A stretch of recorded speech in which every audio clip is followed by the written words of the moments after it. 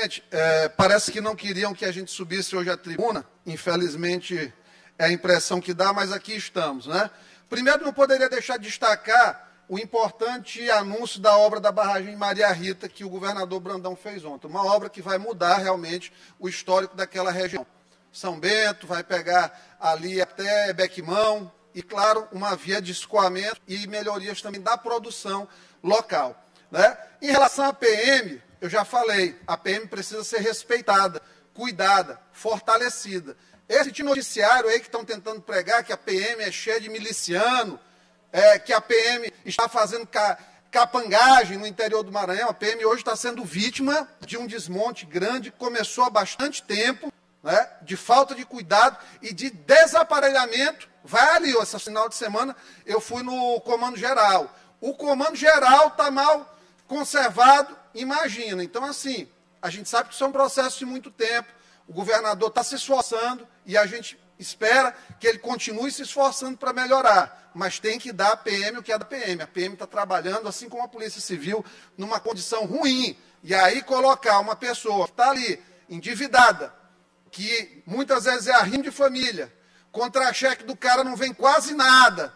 E aí, nessa insegurança jurídica que o Maranhão tem, desde que o seu Flávio Dino começou a dar razão a poceiro de terra irregular, grileiro, e ocupação de invasão sem qualquer fundamento legal, em terras inclusive produtivas, o proprietário de terra, hoje, ele, como não tem um apoio dado, como o judiciário não tem mais respeito às decisões, quando a decisão sai do judiciário, manda reintegrar, tem uma lei que o Flávio criou no Estado que não, o executivo tem que autorizar. Vejamos o inferno jurídico que nós chegamos, a insegurança.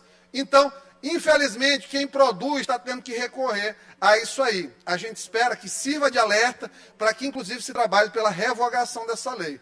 Já coloco, inclusive, que vou entrar com um pedido de revogação dessa lei, uma lei revogando a mesma. Então, em relação a essa situação acontecendo em Brasília, não dá para dizer que Flávio Dino não é coerente, deputado Arnaldo.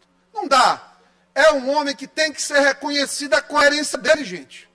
Primeiro, o presidente dele é Lula, onde ele bate no peito na reunião no Congresso e diz que Lula é uma pessoa honesta, decente e um dos maiores estadistas da história da humanidade. Como é que uma pessoa que diz que Lula é tudo isso, ele não vai ter qualquer tipo de pudor de dizer que reuniões com pessoas como essa e faccionadas são normais? Que entrar ali no morro do Rio de Janeiro tranquilo, dois seguranças, onde a polícia militar nem entra, não é normal. Como é que ele não vai dizer que isso é normal? Ele está sendo coerente, gente. Como é que o cara, que quando a Rosiana era governadora, criticava empréstimo todo santo dia, quando ele assumiu, empréstimo virou bateria de crédito. Então, ele está sendo coerente com a história dele. Com o adversário, miremos as bazucas, os canhões. Quando é conosco, claro, tem, tenhamos a nossa tropa de choque aqui, que é um misto de psicofantismo com lacração. Até entendo os colegas, queria que estivessem aqui, inclusive, mas subiram todos ali para a reunião. Reunião na presidência. Entendo esses colegas, tiveram suas eleições entregues aí pela força da máquina, do Flávio Dino. Então tem que vir aqui mesmo e puxar o saco mesmo, lamber. Foram eleitos por ele, força da máquina. Então, é o psicofantismo com a lacração. Teve um evento em Portugal, o ministro da Justiça, Flávio Lacron, diz que Portugal devolve o ouro para o Brasil. Olha a instabilidade diplomática que ele gera com uma besteira que ele fala. Né? Então, não tem nada de incoerente, mas eu só pergunto uma coisa se fosse Bolsonaro, o ministro da Justiça de Bolsonaro, receber a galera toda. Né? E aí, nós vamos precisar pensar nas coisas que os próprios documentos nos trazem. A madame do crime disse aqui, ó, nota de esclarecimento à imprensa. Eu, aqui, ó, esposa do Clemilson, apelidado Tio Patinhas, Luciane Barbosa, diz que a minha luta na nota da associação A nota da associação ela usa para dizer que a minha luta é para garantir de dar direitos fundamentais ao meu esposo e aos outros internos do injusto sistema carcerário no Brasil e no mundo. Ela queria o quê? Um hotel? Agora imagina você, nós estamos falando de comando vermelho. Qualquer ligação de comando vermelho com o vermelho do comunismo, do PCdoB, do PSB, do PT, não é mera coincidência. Não é mera coincidência. Então vamos lá. Vamos imaginar, ah, o Comando Vermelho, os relacionados com o Comando Vermelho, eles têm a liberalidade de fazer visitas ao ministro da Justiça, ao Ministério da Justiça, tranquilamente, com três secretários nacionais, andar de mãos dadas, praticamente de braços dados com Guilherme Boulos, do PSOL.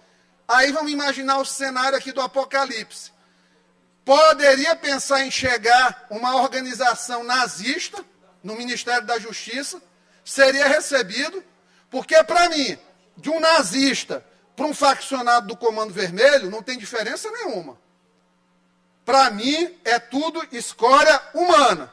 Mas esse pessoal está sendo recebido. Então, na turma aqui do tio Patinhas, que é o nome do faccionado, do chefe do Comando Vermelho, tem o Huguinho, que é aqui o Elias Vaz, que recebeu em 19 de março a dama do tráfico. Tem o Rafael Brandani, em 2 de maio, recebeu a dama do tráfico, que é o Zezinho. Né? O Luizinho, certamente, é o Ricardo Capelli. Porque secretário executivo tem que saber o que está acontecendo, é o gestor do dia a dia do Ministério da Justiça. É ele. Então, ele é o Luizinho. Já tem o tio Patinhas. Só falta o Pato Donald. Ou o Pato Dinald. Que realmente está, nesse momento, pagando o pato, falando um monte de coisa que ninguém consegue entender. E é essa turma do Dinald, do Donald, lá em cima. Pessoas que gourmetizam até visita de faccionado. São uns hipócritas. Infelizmente, todos subiram saíram da sessão, porque viram que hoje a gente ia comentar isso aqui, mas são hipócritas. Flávio Dino teve várias operações da Polícia Federal no governo dele. Quem não lembra da Operação Pegadores? Teve gente que até morreu nesse, nesse curso dessa operação. Quantas fotos Flávio Dino não bateu com agiotas conhecidos no Estado, ligados à pistolagem também, no governo dele. Mas é a Jota do bem.